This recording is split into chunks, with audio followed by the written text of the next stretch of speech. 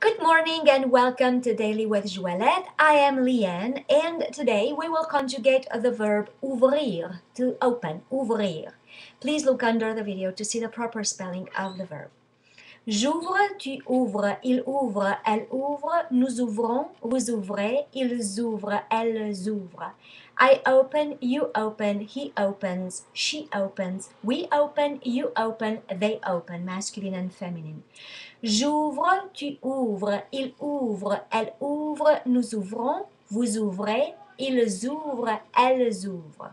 So if you like this video, like it, do not forget to put your comments and questions under the video.